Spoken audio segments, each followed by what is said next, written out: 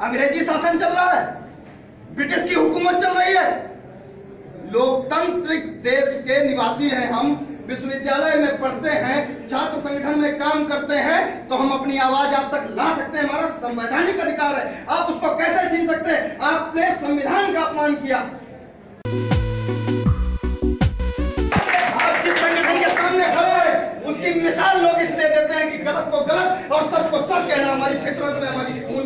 हम सरकारों का मुँह नहीं देखते।